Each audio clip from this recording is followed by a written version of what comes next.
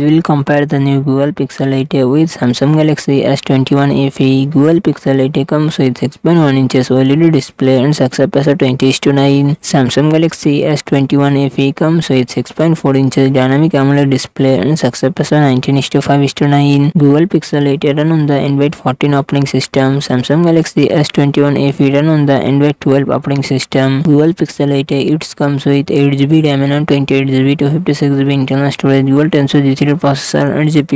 ji P S Samsung Galaxy S twenty